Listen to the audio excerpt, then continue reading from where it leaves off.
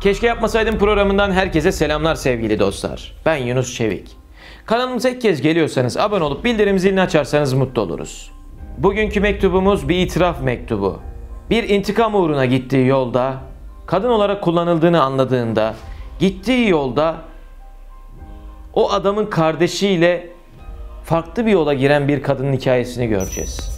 Ve bu hayat hikayesinde yurt dışında okumaya gidiyor, o okuldan gelmek istemiyor. Zenginliğin içerisinde sorunlar yaşıyor. O kadar çok karışık şeyler var ki sadece fakirler yaşar dediğimiz şeyleri zengin hayatın da yaşadığını gördüğümüz bir hayat hikayesi. Kendisi de şunu söylemiş mektubun sonunda. Kötü yola düşebilirdim ama sizin programınızı izlediğim için daha temkinli davranıyorum. Şu an ne yapacağımı bilmiyorum diyor. Bizlerden de yorum beklemiş. Yaşadığı hayat hikayesini bizimle paylaşmış. Zor bir hayat hikayesiyle baş başayız bugün. Hadi hikayeye geçelim. Hikayeden sonra üzerine detaylıca konuşuruz inşallah. Video izledikten sonra düşüncelerinizi yorumlara yazabilirsiniz ama unutmadan like tuşuna basarsanız gerçekten mutlu oluruz. Yaptığınız yorum ve like'lar verdiğimiz emeklerin karşılığı olacaktır. Merhaba Yunus Bey, nasılsınız? Programınızı uzun zamandır takip ediyorum. Mektubuma nereden ve nasıl başlayacağımı bilemedim. Çok uzun zamandır size yazmayı düşünüyorum. Girmiş olduğum bu zor durumda sizlerin ve dinleyenlerin fikirleriyle kurtulmayı planlıyorum. Ama aynı zamanda alacağım, duyacağım kötü yorumlar, eleştirilerden de korkuyorum. Bazen oturduğumuz yerden yorum yapmak kolay oluyor ve karşıdaki kişi gibi. Ne yaşadığımızı, ne hissettiğimizi bilmeden konuşmak, çözüm yerine insanı daha çok hata etiyor. Ama ben yaptıklarımdan pişmanım ve gerçekten siz değerli okurumuz ve dinleyicilerimizden bu düştüğüm hatadan, bu düştüğüm durumdan beni çıkarabilecek yorumları bekliyorum. Ben şu an 25 yaşındayım. İyi bir ailenin, iyi bir eğitimli okumuş bir kız çocuğuyum. Babam ailesinden çok zengin bir adam ve yaşadığımız yerde sevilen bir esnaf. Annem halk eğitimde dikiş öğretmeni. Toplamda dört kardeşiz, ben ikinci çocuğum. Bir abim, bir kız kardeşim, bir de erkek kardeşim var. Ailem bizim için her zaman en iyisini düşünüp en iyisini planlamış. Hatta geleceğimize göre yatırım da yapmışlar. Ama gel gör ki hayat şartlarında olmak, paranın var olması, her istediğimizi elde edebilmek iyi sonuçlar vermiyor. Ben hayatımda bunu deneyimledim. Üzülerek de olsa bunun farkındayım. İlkokuldan beri özel okullarda okudum. Neredeyse birçok kişinin alamadığı eğitimleri aldım. Burada amacım kimseyi aşağılamak değil. Sadece elimde olan bu imkanı güzel şeylere kullanmamanın verdiği acı. Ben üniversitede babamın vermiş olduğu maddi imkanlar sayesinde yurt dışında bitirdim. Ailem ben ve kardeşlerime özellikle ne iş yaparsak yapalım en iyi şekilde ve hakkıyla yapmamızı bizlere tembihlediği halde ben bunun dışına çıktım. Çünkü üniversitede gitmiş olduğum, seçmiş olduğum ortam ne bana ne aileme uygun bir ortam değildi. Gerçekten o zamanlar yasak olduğu için cazip ve eğlenceli geliyordu. Ailem beni okumam için yurt dışına göndermişti. Ama ben okumak yerine gezmek, tozmak, kötü ortamlarda bulunmak için kullanmıştım o imkanları. Üniversitenin son yılında babamın yaşı gereği ve genetik rahatsızlığı olan kalp rahatsızlığından dolayı aniden kalp krizi geçirip vefat etti. Ve annem de babamın yerine geçerek bizleri iyi bir birey olarak yetiştirmeye çalıştı. Ben de babamın acısını unutarak yokluğunu daha da çok fırsat bilerek çığırından çıktım. Hiçbir tatilde eve gelmiyor. Anneme ne maddi destek ne manevi destek asla sağlamıyordum. Babamın vefatından sonra bu durumu kabullenmeyen abim neredeyse akıl sağlığını yitirmiş, dışarı hayattan tamamen kopmuş ve bizimle neredeyse görüşmez hale gelmişti. Kız kardeşim aniden okulu bırakıp evlenme kararı almıştı. Ne yaparsak yapalım bu durumu asla engelleyemeyiz dedik. Ki o zaman ben de ablası olarak pek çaba sarf etmemiştim. Çünkü dedim ya hayat neredeyse umurumda bile değildi. Sadece kendimi, kendi eğlencemi, kendi isteklerimi düşünüyordum. Ve çok bencil bir insan haline gelmiştim. Belki kendime insan dediğim için bana kızacaksınız. Ama sonuçta ne olursa olsun hata da yapmış olsam insandım.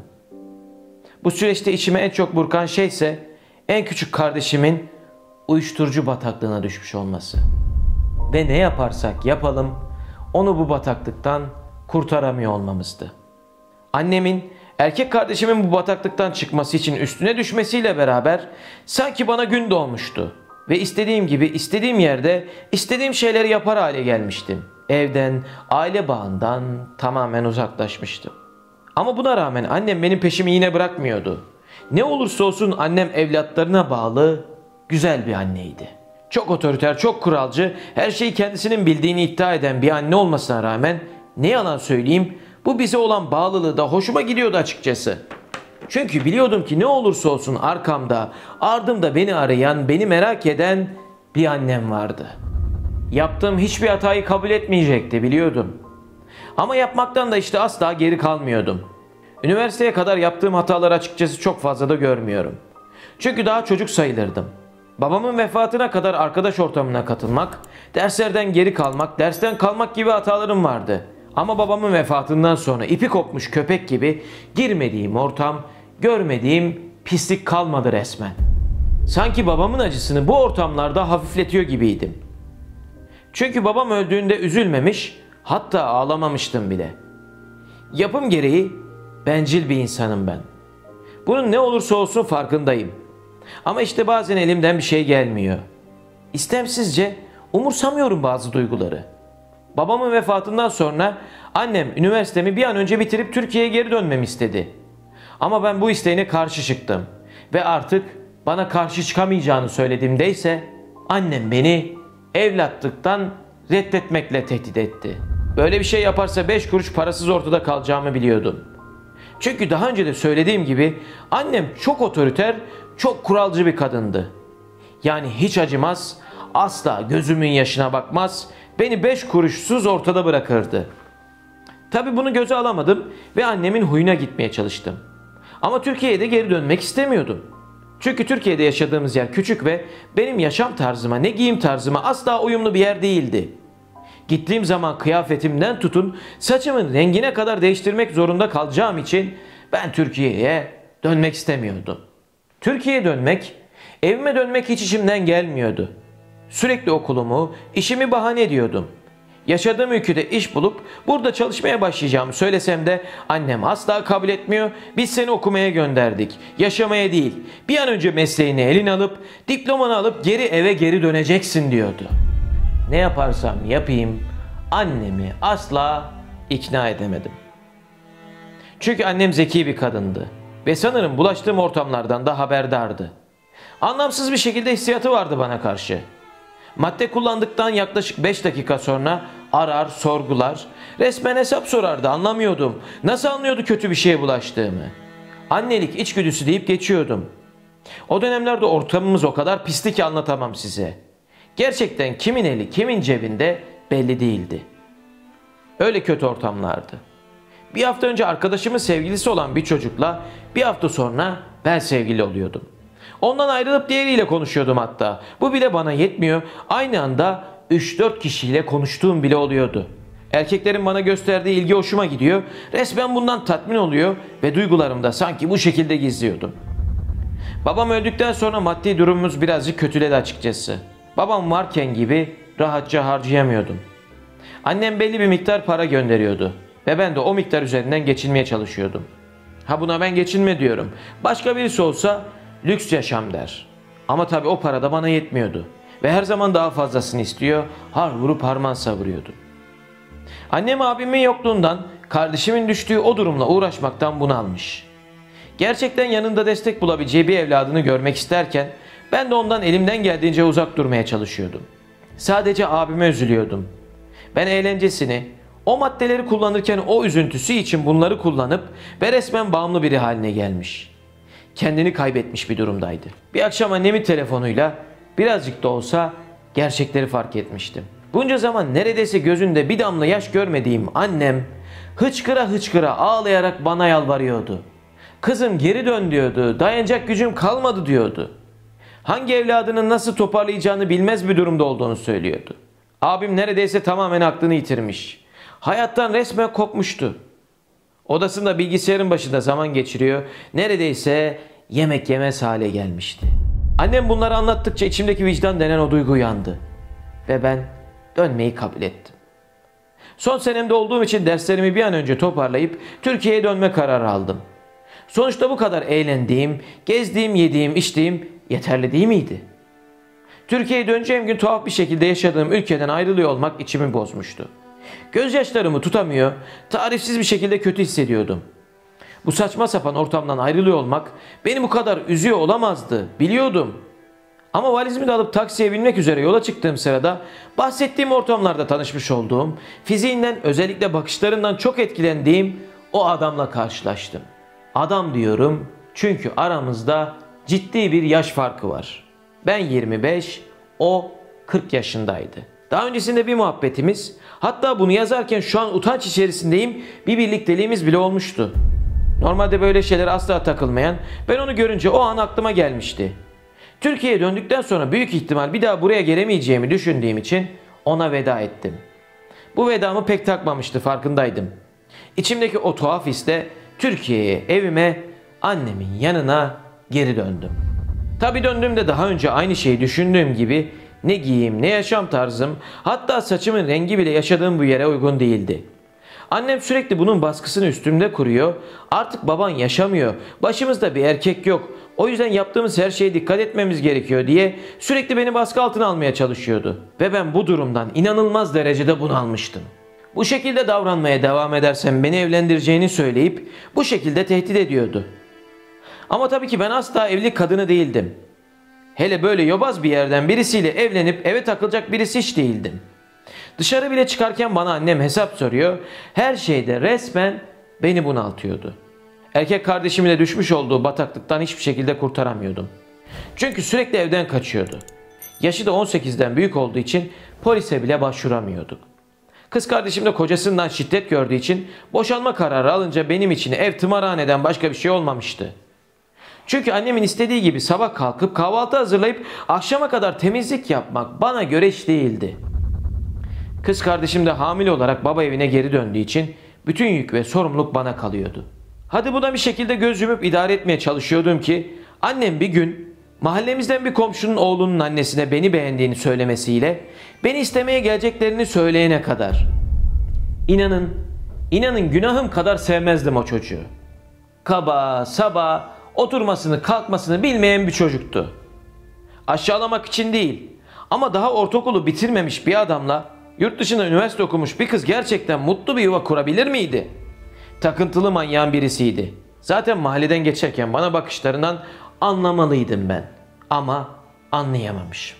Bir sabah ekmek almaya çıktığımda birden önüme çıktı. Benimle kahve içmek istediğini söyledi. Ben de onunla kahve içmeyeceğimi, hatta onunla evlilik gibi bir şeyin söz konusu olmayacağını söylediğimde sinirden deliye dönmüştü. Ve resmen açık açık beni tehdit etti. Ya benimsin ya da kara toprağın. Ben çocukluğumdan beri sana aşığım. Hep büyümeni bekledim dedi. Ben de bu haliyle bana ne verebileceğini sorduğumdaysa sevgisinin olduğunu söyledi. Ortalama iki parça kıyafetimin o zamanın asgari ücretine tekamül ettiğini düşünürsek hangi parayla bunu karşılayacağını sorduğumdaysa bana resmen zorbalık yaptı ve ölüm pahasına da olsa bu evliliğin gerçekleşeceğini söyledi. İşte tam olarak ondan korkmuştum. Ama belli etmeden hızlı adımlarla eve geri döndüm. Durumu anneme anlattığımdaysa çocuğun beni sevdiğinden böyle yaptığını, sevginin her şeyi iyileştireceğini, bu dünyada sevilmekten öte başka ne olabileceğini, çocuğun annesine yani komşumuza çok uzun zaman önce de bu sözü verdiğini, ne olursa olsun bu evliliğin gerçekleşeceğini söyledi. Ben bu evliliği kabul etsem, benim de sonum binlerce kadın cinayetinde olduğu gibi ölmekten farklı olmazdı. Ben de çareyi ailemi terk etmek, evden kaçmakta buldum. Yurt dışındaki bir arkadaşımdan yardım istedim. Ama evden kaçarken annemin elimden almış olduğu pasaportu almak aklıma gelmedi. Çünkü o an direkt evden kendimi dışarı atabildim. Yani bir pasaport için para ve zaman lazımdı. Başvuru yapacaktım. Başvurudan sonra onaylanacak ve onaydan sonra kargo ile evime gelecekti. Ama böyle bir zaman yoktu. İşte tam bu sırada arkadaşım mektubun başında bahsettiğim o adamı devreye soktu. Ortak arkadaşımız olduğu için o zaman da Türkiye'de olduğu için tek çarem buydu. Kabul ettim. Beni kendi özel aracıyla almaya geldi. Şehir dışından geleceği için ben de hemen ilçeden ile geçiş yapmış, ilde mağazalarda oyalanmaya başlamıştım. Beni almaya geldiğinde yorgun olduğumu fark ettiği için biraz yolculuktan sonra bir otele gitmeyi teklif etti. Bu sırada telefonum deli gibi çalıyordu. Annem üst üste arıyordu. Size şu an yazamayacağım ama ondan sonra üst üste mesaj atıp ağza alınmayacak şeyler yazıyordu. Kesinlikle ve kesinlikle ne olursa olsun evlatlıktan reddedeceğini, onu bu duruma düşürdüğüm için beni asla affetmeyeceğini söylüyordu. İster istemez üzülüyordum ve ağlamaya başlıyordum. Ama istemiyordum. Tanımadığım, sevmediğim, asla mutlu olmadığım bir yerde evlenmeyi istemiyordum. Bunda benim suçum yoktu ki. Hangi devirde yaşıyorduk ki? Hangi devirde yaşıyorduk ya? Hangi devirde yaşıyorduk ki komşunun çocuğuyla evlenecektim? İşin komik tarafı o çocukta numaramı bulmuş. Mesaj üstüne mesaj atıyor. Ne olursa olsun beni bulacağını ve bulduktan sonra çok kötü şeyler yapacağını söylüyordu. Polise neden gitmediğimi sorarsanız polise gidip onlarla uğraşmak, ifadeydi, mahkemeydi bu tarz şeylere bulaşmak istemiyordum açıkçası. Çünkü bir an önce yurt dışına tekrardan geri dönmek istiyordum. Annemin oraya gelmesi zaten neredeyse imkansızdı. Otele vardığımızda ayrı odalar değil, tek bir oda tuttuğunu fark ettim. Neden böyle bir şey yaptığını sorduğumdaysa o kadar yolu boşuna gelmediğini, her şeyin bir karşılığı olduğunu söyledi. Böyle deyince ben de çaresiz kabul ettim. Sonuç tabii ki düşündüğünüzden farklı olmadı. Biz yine onunla birlikte olduk. Çok haklıydı. Erkekler hiçbir zaman karşılığını alamayacağı bir şeye adım atmazlardı. Özellikle işin içerisinde bir kadın varsa.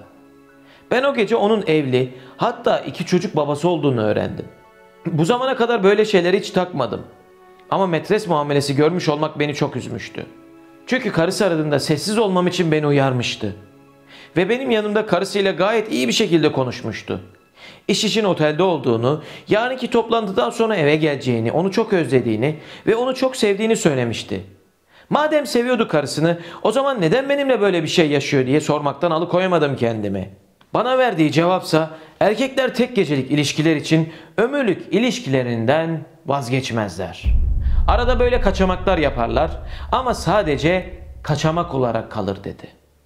Bu söz o kadar ağrıma gitmişti ki resmen bana kaçamak ucuz bir kadın muamelesi yapmıştı. Bu duruma çok sinirlenmiş, çok içerlenmiş ve o kadar ağlayıp üzülmeme rağmen ne olduğunu bile sormamıştı bana. Evet, gelip beni oradan kurtarmıştı ama o da zaten benimle birlikte olmak içinmiş. Resmen beni kullanmış. Bu gerçekle yüzleştiğimde çok çaresiz kaldığımı, artık hayatımın belki de eskisi gibi bile olamayacağının farkına vardım.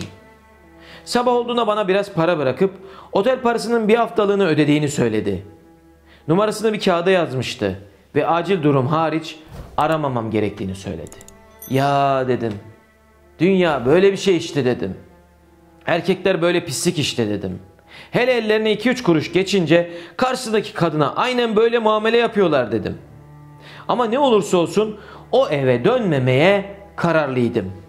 Verdiği para hatıra sayılır bir para olduğu için küçük bir ev tutabilirdim. O bir haftalık süreçte kendime ev aradım. Çünkü ikamet alıp daha sonra da pasaport için başvuruda bulunabilirdim. Planladığım gibi de oldu. Pasaport için başvuru yapacakken yurt dışındaki olan arkadaşımla anlamsız bir şekilde tartıştık. Tabi bu tartışma o zaman bana anlamsız gelse de daha sonrasında o adama karşı hislerimin olduğunu öğrendim. Ve bizim birlikteliğimizden bahsettiğim için de o kıskançlık krizine girip bana yardım etmeme kararı almıştı kendince. Yani yurt dışı planım da böylelikle iptal olup suya düşmüştü. Bu süreçte o adamı sosyal medya hesabına bulup takip ettiği kişileri hatta akrabalarını incelemeye başladım. Çünkü bana o gün yaptığı bu hadsizliğin karşısında bir şekilde ondan intikam almalıydım.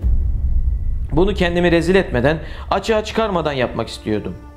Sosyal medyasında gezinirken arkadaş olarak eklemiş olduğu yüzü temiz, efendi birisine benzeyen, büyük ihtimalle kuzeni olduğunu tahmin ettiğim bir çocuğa istek gönderdim.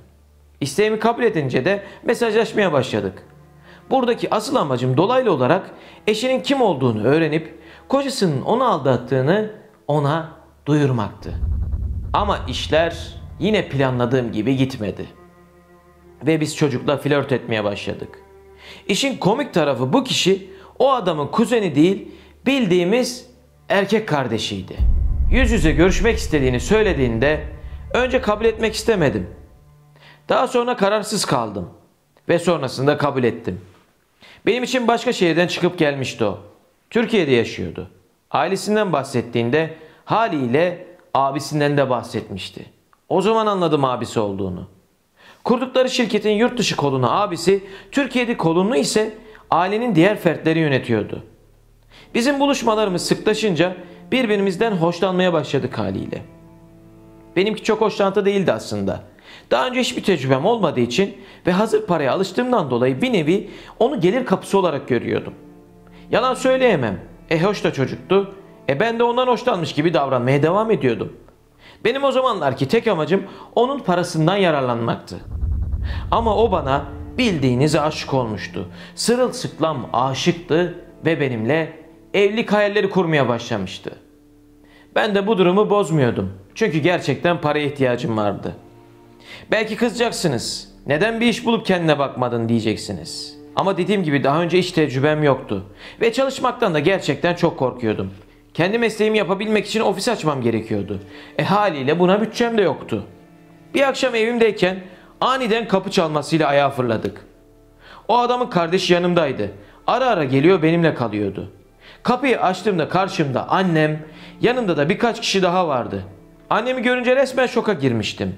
Annem, seni bulacağımı söylemiştim dedi. O sırada o adamın kardeşi yanıma geldi. Ne olduğunu sorduğunda annem demek bu adama kaçtın deyip yargarayı bastı. Çocukta olanları toparlamak için kaçma falan yok teyze. Ben zaten kızınızla ciddi düşünüyorum. Evlenmek istiyorum ama henüz bunu ona ikna edemedim. Demek ki ikna olmama sebebi sizmişsiniz dedi. Annem bunu duyunca ister istemez birazcık da olsa duruldu. Ben de bu durumu bozmadım. Çünkü olaylar daha kötüye giderdi.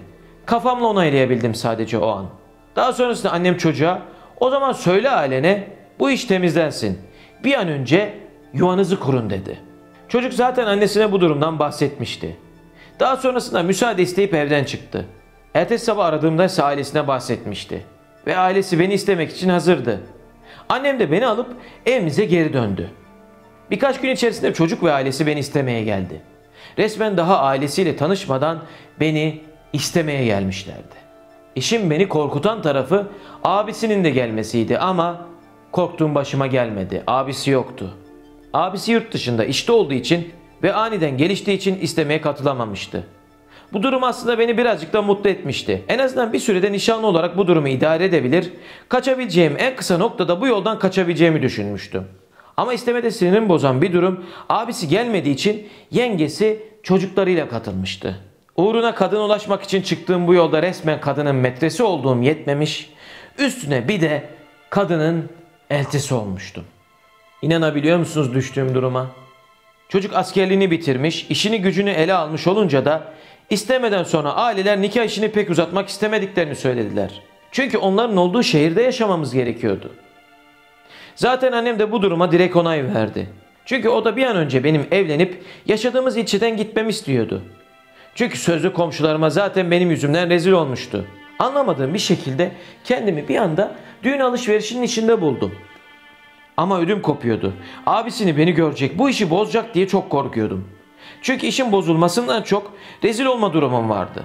Bir gün çocuk beni abisiyle tanıştırmak istediğini söyledi. Nihayet yurt dışından gelebilmişti beyefendi. Onunla tanışacağımız gün özenle hazırlandım. Çünkü ya bu iş bitecekti ya başlayacaktı.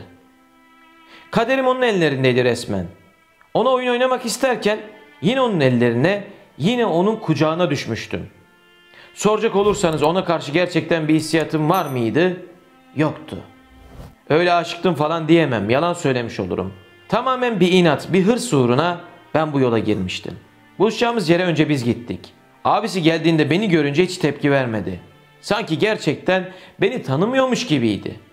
Öyle güzel yalancı, öyle güzel oyuncuydu ki sergilediği tavır karşısında resmen ben kendimden utanıp şok geçirdim. Üstelik bir de bizim için hayırlısını dileyip beni çok sevdiğini söyledi. Çok temiz yüzlü birine benziyormuşum sözde. Sanki beni ortamda görmeyip iki kez yatağına atmamış gibi bir de utanmadan pişkin pişkin bunu söyledi kardeşine. Pes dedim ya. Pes dedim içimden. Daha sonrasında zaten alışverişler, hazırlıklar bitti. Ve bizim düğün günümüz geldi.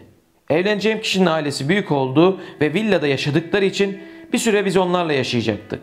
Yani en azından ben bir süre yaşamayı düşünüyordum. Çünkü dediğim gibi kalabalık aileleri sevmez ve temizlikten anlamazdım. Anlamak da istemiyordum zaten. Bir an önce evlendiğim kişiyi kandırıp o evden kaçma düşüncesindeydim. O evde sadece bize bir yatak odası verilmişti. Bu evliliğe sesimi çıkartmadım çünkü en azından maddi durum iyi. İyi kötü gezmeyi, eğlenmeyi biliyor ve beni taşıyabiliyordu. En kötü ihtimalle birkaç ay sonra ayrılır, nafakamı alır, kendi yoluma bakarım diye düşünüyordum. Ama düğün günü abisinin davranışları daha çok sinirimi bozmaya başladı. Ve dışarıda sigara içtiği bir anda yanına yaklaşıp ne yapmaya çalıştığını sorduğumdaysa eğer kardeşini üzersen beni çok fena durumlara sokacağını, canımı okuyup eski durumlardan beter durumlara sokacağına yemin etti. Öyle ciddiydi ki ben de sessizce yanından içeriye gittim. Yani her şeyin farkındaydı ve bile bile belki de kardeşine olan sevgisinden, belki de kendisinin rezil olma korkusundan böyle bir şeye göz yumuyordu. Düğünden sonra ben de duygu bozukluğumdan zannettiğim bir baş dönmesi, mide bulantısı baş gösterdi. Evlendiğim kişi dediğim gibi bana çok düşkün, çok aşık olduğu için apar topar hastaneye gittiğimde hamile olduğumu öğrendik. Dehşet içine düşmüştüm. Çünkü abisiyle birlikte olduktan kısa bir süre sonra kardeşiyle birlikte olmuştum. Ve inanabiliyor musunuz bebeğin kimden olduğunu dahi bilmiyordum. Evet, korunmamıştım. Onunla yatarken de korunmamıştım. Bu benim uzun uzun anlattıklarım. Çok kısa zaman içinde geliştiği için zor bir duruma düştüm. Bu arada adet doluyordum. O sebeple anlamadım hamile olup olmadığımı. Bazen olabiliyormuş adetken hamile olabiliyormuş insan. Neyse Kocamın böyle bir durumdan haberi olmadığı için baba olacağını zannedip sevinçten havalara uçuyordu. Biraz zaman sonra cinsiyetini öğrendik.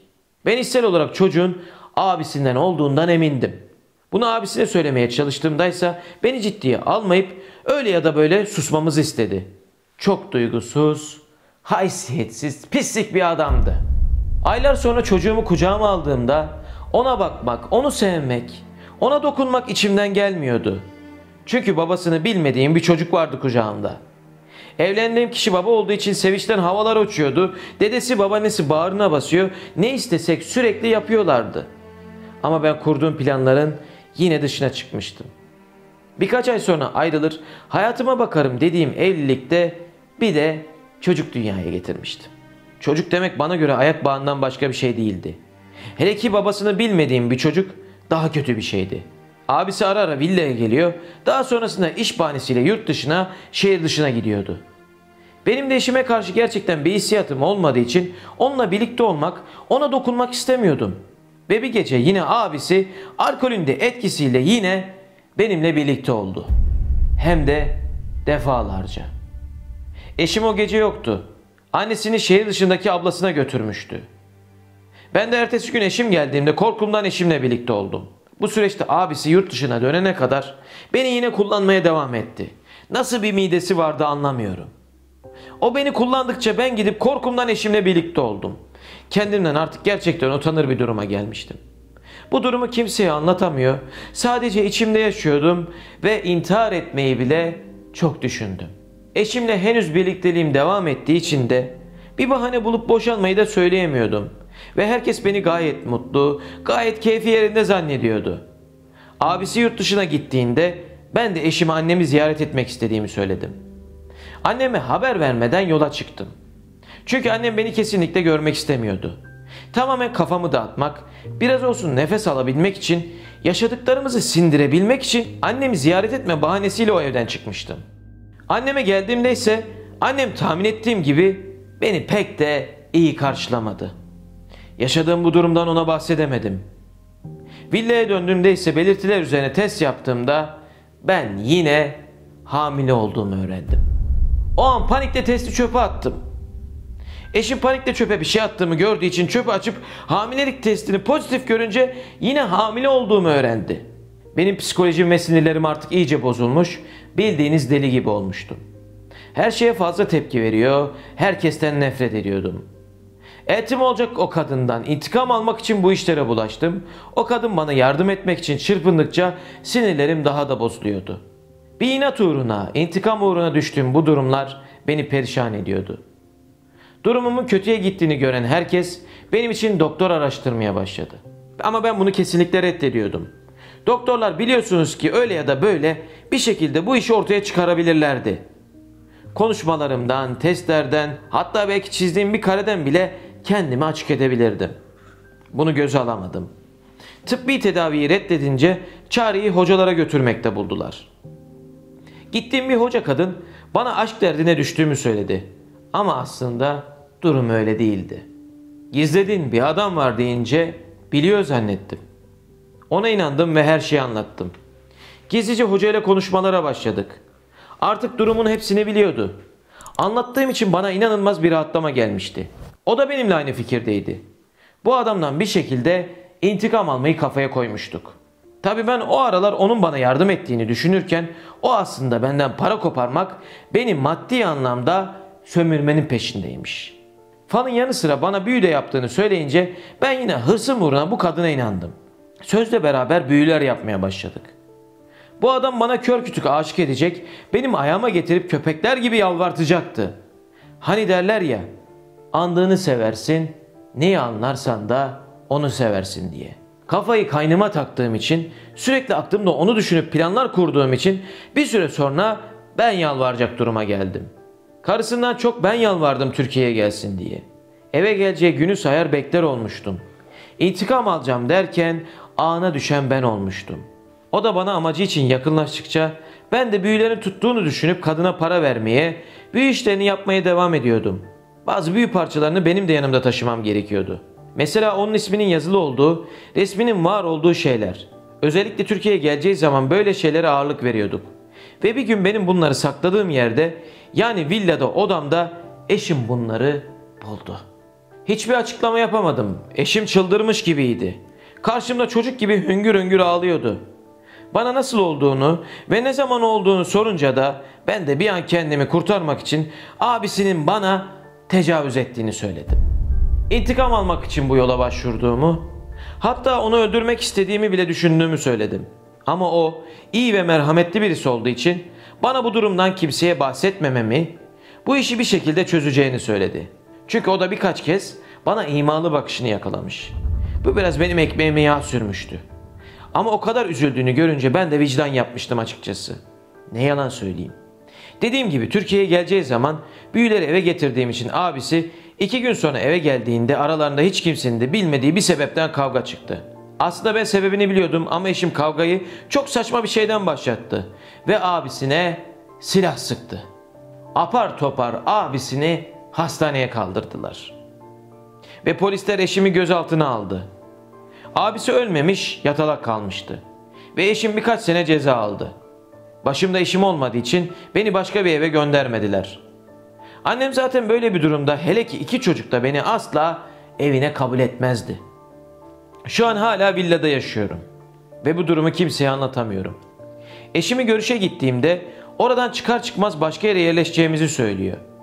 Eşimin iyi niyetini böyle kullanmış olmak artık beni gerçekten üzüyor. Ve vicdani rahatsızlık duyuyorum, uykularım kaçıyor. Çocuklarımın yüzüne bile bakamıyorum. Evet, öz anneleri benim. Ama öz babaları kim bilmiyorum.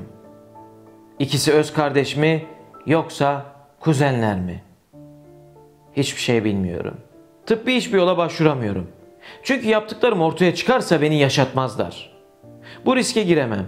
Bu yüzden de mektubun başından beri kimliğimi gizlemek istedim.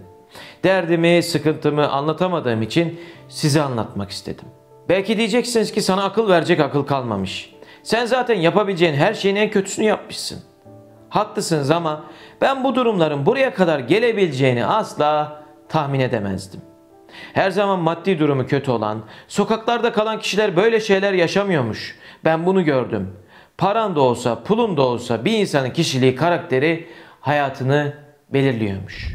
Henüz hep beraber aynı villada yaşadığımız için yatalak olan kaynımı gördükçe bana yaptıkları aklıma geliyor. Ve yüzüne tüküresim geliyor. Bu durumu zaten eşim ve o biliyor. Başka kimse duymadı. Bu durumda yatalak olduğu için karısı da zaten telefonun eline geçirdiğinde defalarca kez bir sürü başka kadınla aldatıldığını öğrendiği için çocuklarını alıp eşini, evini terk etti. Amacıma ulaşmıştım ama ben de bu yola bu kadar bir sürü bedel ödedim.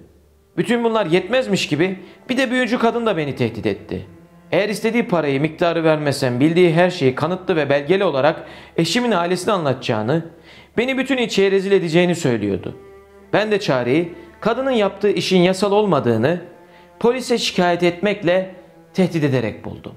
Tehdidi tehditle savurdum. Şu an benden uzak duruyor. Son öğrendiğime göre dolandırıcılıktan dolayı ceza almış. Çünkü birkaç kişiye de yapmış aynısını. Ama ben yine de tıkanıp kaldım ne yapacağımı bilmiyorum. Eşim cezaevinde olduğu için çalışamadığı için eşimin ailesi tarafından bana verilen para da kısıtlı. Bana zor yetiyor. Ve umduğum hayatı da yaşayamadığım için hiç mutlu değilim. Defalarca kez buradan kaçmayı düşündüm. Ama gidecek hiçbir yerim yok.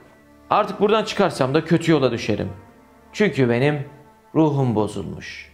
Doğru yola gitmek varken ben her zaman yanlış yola, yamuk yola sapmışım. Her şeyin farkındayım ve çok pişmanım. Artık sadece çocuklarım için mücadele vermeye çalışıyorum. Ve doğru şekilde akıl alacak kimsem yok. Sizin hikayeleriniz bana yol oldu. Eğer sizin kanalınızda karşılaşmamış olsaydım şimdiye kadar çoktan buralardan kaçıp belki de kötü yola düşmüştüm. Ama iyi ki kanalınıza dek geldim. Tam yine hata yapmak üzereyken doğru yolu buldum. Şimdi sizce eşim beklemeli miyim? Yoksa boşanma davası açıp çocukları babaannesiyle bırakıp buradan gidip kendime yeni bir düzen mi kurmalıyım? İki çocuklu bir şekilde hiçbir şey yapamam. Elim kolum bağlı kalır. Çalışma tecrübem bile yok. Onları alıp zaten gidemem. Eğer gidersem çocuklarımı ben bırakmak zorundayım. Sizlerden de hem akıl hem dua bekliyorum. Artık bunları kaldıracak gücüm kalmadı, psikolojim kalmadı. Ve gizlediğim her şeyin hala açığa çıkma durumu var. Bu yüzden bu riskle yaşamak istemiyorum. Lütfen yardım edin, kızmayın. Ben yaptığım şeylerin farkındayım. Her defasında kurtulayım derken daha beter bir duruma girdim. Battım. İntihar etmeyi bile düşündüm, edemedim. Çıkmazın içindeyim, ne yapacağımı bilmiyorum. Mektubumu okursanız şimdiden çok teşekkür ederim. Bu programı yaptığınız için de sizlere binlerce kez teşekkürler. Hoşçakalın. Bizler de size teşekkür ederiz mektubunuz için, itirafınız için. Kolay bir şey değil böyle bir şey yaşayıp itiraf etmek. Yaşadığınız şeyler kötü şeyler ama biz burada kötü şeyler yaşayan insanları da yargılamıyoruz. Önemli olan kötü şeyler yaşasa da yaşatsa da bir insan topluma kazandırılması lazım. Çünkü hatalar insan içindir. Kendisi de diyor ya ben yaptıklarımdan çok pişmanım keşke yapmasaydım diye. Bu programın da amacı bu zaten. Açıkçası son cümlesi beni gerçekten mutlu etti. Programımızın amaca ulaştığını biz çoğu kez görüyoruz. Birçok mesaj geliyor, birçok yorum geliyor. Sayenizde kötü yola düşmekten kurtuldum.